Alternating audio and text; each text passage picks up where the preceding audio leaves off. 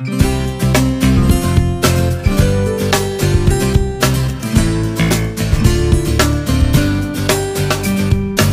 on TNT Big Show, Shawn and I review Prey and She-Hulk. All today on TNT Big Show. Hello, ladies and gentlemen. This is me, Michelle Lynn Tackett. This is Shawn. Welcome to TNT Big Show. If you like our content, please hit that subscribe button and ring that notification bell to keep up to date with all our new videos. And if you want to help with the algorithm, which you guys are, you are the best. You are watching more of the video, which helps us so much. Watch the whole thing. You'll enjoy it. If you like the video, hit the thumbs up, leave a comment, save it to a playlist, or share it on social media with your friends and family. And I've been a huge Predator fan since I was a kid. Before we start, I just want to say this is brought to you by TNT Big Show. We watch crappy stuff, so you don't have to. I was dreading watching this, but then I started hearing great reviews about it and thought maybe I'm wrong because that has happened. I'm happy to say that has happened to me. So I watched Prey and I thought to myself, okay, let's really watch this. It's on Hulu. Prey was directed by Dan Trachtenberg, and it had a screenplay by Patrick Aison. And the lead character, Naru, is played by Amber Midthunder. So this should be a good setup for me. Yeah. You have a Native American lead. I am personally not Native American, but our grandmother and grandfather and ancestors, you know, a lot of them were. Grandmother was full-blooded Cherokee. Yeah, she was full blooded Cherokee and stuff. So we do have some in us. Yeah. So I thought, okay, this is going back to the roots. It's about survival this time. It's more stripped down and everything, and it's Yeah. R rated. And I thought, okay, you got me interested. Let's go. Naru is, of course, trying to prove herself to the males at camp who, unsurprisingly, don't think she can handle her own. Yeah. She goes on a hunt with them and her brother. Of course, her brother will treat her like she's the little sister who don't know nothing. And she thinks she sees something and hears something that's not like the other animals. What a shock and surprise. Nobody believes Yeah, her. nobody believes Yeah. her. though. Then she gets attacked by a lion, and they take her back to the camp, and mayhem ensues. And then, predictably, here comes the predator. Predator in this movie, he makes the world's dumbest person look like Noam Chomsky by comparison. Of course, Naru is going to outsmart this predator, and once again, the predators lose. The end. Here is the good about it. It goes back to the roots of the first predator. Second, good Native American representation. How bad? Bastardizes the mythology. The predator is dumber than a rock. Yeah. It's predictable. And really, there's no memorable scenes. I don't really remember much about the movie. And the predator doesn't camouflage itself. Well, it does, but the camouflage don't work that well. yeah, it don't work that way. Here's something else. This movie is set 200 years in the past. I can handle just about anything. If you're going to go by science and stuff, how did the predator evolve? it looked real primitive in this. It seemed like a predator though. No. Like what do you mean, Don? When it took off its helmet, it still saw into Yeah. all infrared. Right. Well, that made no sense. Now, I mean, and, and it killed an innocent. Even, you know, people are like, well, the natives don't make much sense. Well, they have weapons. They were like, okay, anyone with a weapon yeah, was a threat. yeah. I get that. But there's a scene where one guy has his legs, you know, he can barely, he can't Yeah. move, and he just wakes up, He's and the predator, unarmed. yeah, he's unarmed, and the predator kills, and I'm just sitting there like, that is not the predators.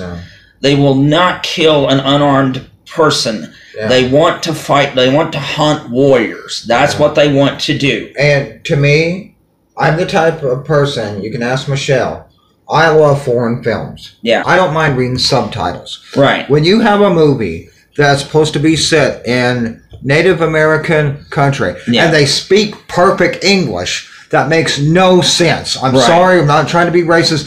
Natives back then did not speak perfect English. They were Comanche Native Americans. They were very hostile toward the white man. They weren't going to pick up their language. That was kind of offensive to them. Yeah. And they could have spoke their language in their native tongue Yeah. and have subtitles. But here's the other thing. They had French people speak in French, but the subtitles were in French. They were not in English. I mean, it made no sense. Uh, this is what I'm going to say. I think that representation is important, and I think it's good, but you have to do it right. Yeah. The other thing, this Predator is so dumb. And you saw Dutch in the first Predator movie beat the Predator, it was an accomplishment. Yeah. The Predator, until it was shot out of the trees, did not go on the land or nothing. It No. never decamouflaged or No. nothing. You did No. not know where it was. It was quiet. You were just like, oh my God, what is going on here? But with this movie, this thing was always walking on the ground. Cannot be this dumb. Oh, of course, they have a wink Yeah. at the second movie where the predator or Mhm. somebody gives to her at the end. Yeah. And but get this, it's in the second Predator movie. So what happened? Did they come back and kill him? No. It makes Yeah. no sense. Yes. No. No. This is the type of movie that frustrates me to no end because there are some good things about this movie. But then there were things that just frustrated me so much that it just sunk the movie for me. It was like an hour and 50 minutes, but it felt like three and a half hours. I was like, oh my God, this is just dragging on so much. It's so predictable. The characters, except for Naru, I don't remember. They're so cliched. You know, the men don't believe her, blah, blah, blah. Movie is just another forgettable Predator Jumps in. entry. The second one, a lot of people like. I didn't even care for that one. Yeah. The first one, and that's it. Yeah. Yeah. The original one is a classic. It was smart. Yeah. The enemy was smart. Yeah. The good guys were smart. It was scary. It was tough, bloody, and it really showed a unique creature. This, it had a few of those things, but it couldn't seal the deal. No. Like I've always said, directors do the movie right the first time. That's it. That's all you need, really. Yeah, it was done right. Yeah. There should have been no sequels. I'm sorry. I don't care if, if people get upset. Hey, I'm sorry.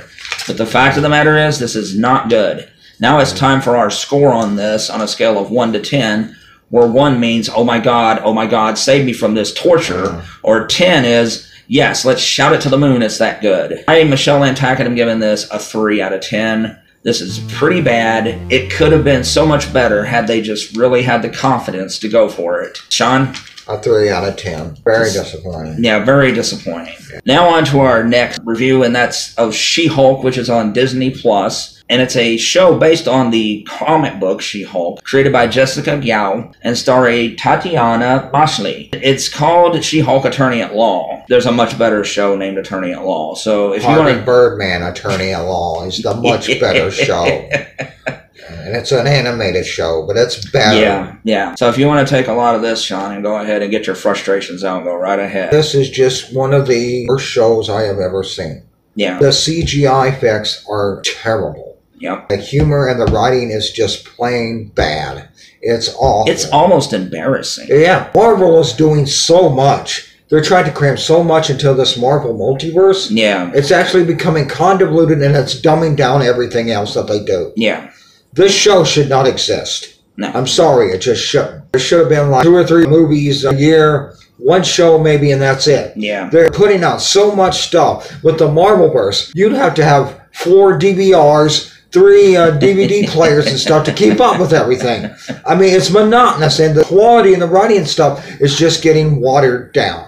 It is. That's and what this show is. Let me give people the synopsis. Tatiana plays the She-Hulk, Yeah. and uh, you see, I even forgot her name already. Jennifer, I think. She's going on a trip with her cousin Eric Banner, the Hulk, and of course, a ship pops out of nowhere, which It looks like a PlayStation 2. Yeah, it looked like a PlayStation 2 graphic. Thing turns over. Both of them had really bad blood, and her arm just happens to rub up against his. Yeah. And she got the blood and got infected and Infected. turned into the Hulk. I just sat there and I was like, you know, this show was in trouble when you knew it was in trouble when that happened. First episode, she pretty much gets down in 20 minutes, or probably in the show, five days or whatever, what it took Eric Bana 20 years to do Yeah. this is the bad kind of feminism and representation because you really would have rooted for her had she struggled. Yeah. And I think that's true for any character Yeah.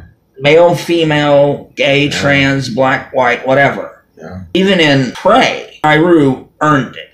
Yeah. She struggled at first and then she got Yeah, better. yeah. With this, she just caught on. Oh, look, what a woman can do that a man can't. Yeah. Oh, how droll. Yeah. She almost beats the, the Hulk in a fight and stuff, or pretty much it's a tie.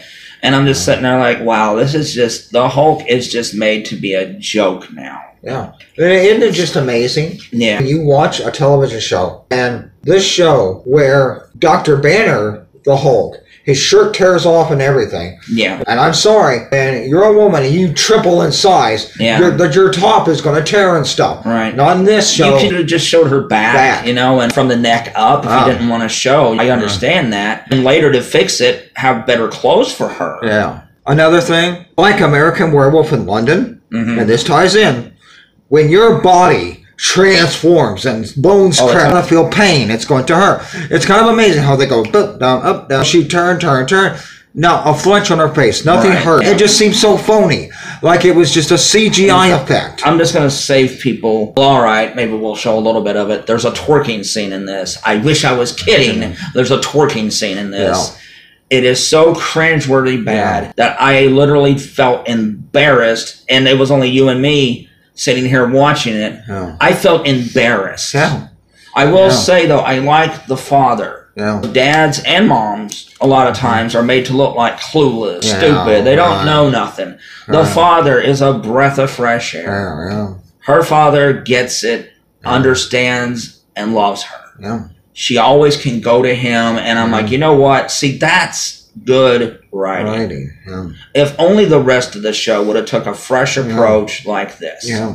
yeah. it would have been good. It'd go so much better. She has to free Abomination and stuff. Yeah, Yeah. it's kind of a nice wink wink to the 2008 one. Right. Of course, at the end, uh, when she tries to take up a case, there's an alien that flies through for, For some reason. yeah, some reason. Yeah. I'm really just embarrassed for this show. Yeah. Here's our pros non stereotypical dad, lawyers who actually care, and the big one, it's only half an hour. Yeah. Cons horrible writing, terrible job on the mythology of the Hulk, cringeworthy scenes, and bad CGI. Yeah. You could have had a chance here, Marvel, to make a wonderful girl empowerment show Yeah. with writing that's just as whip smart as any guy could do. Yeah. You know, and they're out there. There's lots Yeah. of good shows out there like that. Yeah. But this ain't one of them, Chief. No, like I said, there's too much Marvel. Slow down, Marvel. Stop putting out so much product. Here's something else. Marvel is overworking their special effects artists and other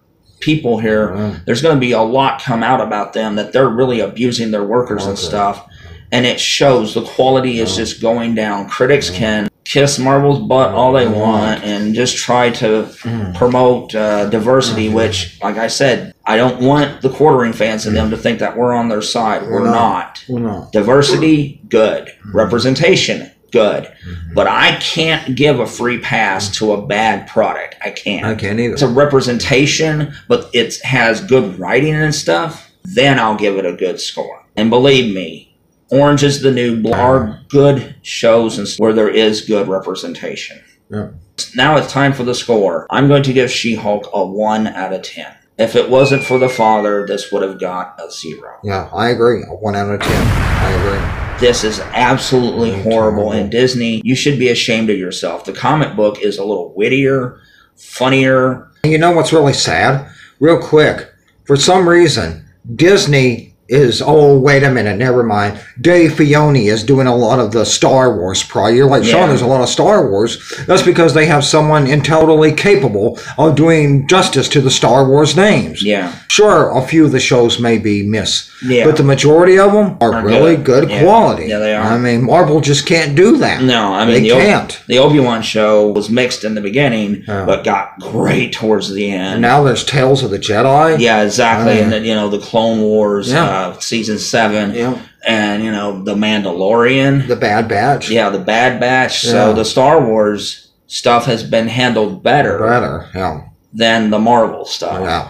and I, you know, I don't want to hear the sequels. We all know about the sequels and stuff. And yes, I agree that there was a lot of problems. I got a kick out of them, but I liked them. yeah, I'm just saying though, I understand everybody's criticisms, but when you look Yeah. at the whole spectrum, Star Wars has actually been handled better Yeah. than Marvel. Marvel, exactly.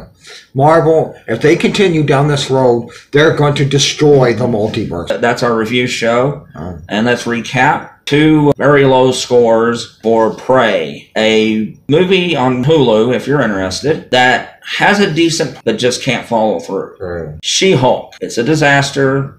Watch only if you're a hardcore Marvel oh, fan. And even then, you're warned. Yeah, almost rock bottom scores. It is on Disney Plus. You have been warned. No. Well, that's all for this week. We're glad you tuned in to listen. Yep. Next week, we're going to be back with X plus Everything Everywhere All at Once and Last Christmas. Here's hoping that those will be much better than this week's crop. My name is Michelle Lynn Tackett. And Mr. Shawn. Have a good one. Thank you, ladies and gentlemen, for joining in, and thank you to all our Patreons. Without you, we couldn't do this. And if you want to support us, you can join our Patreon. You can join all of our social media. We have a Discord, we have Reddit, we have TikTok, we have a WordPress blog. Please join those and support us, and we have an Instagram. We love you very much, and new exclusive content will come.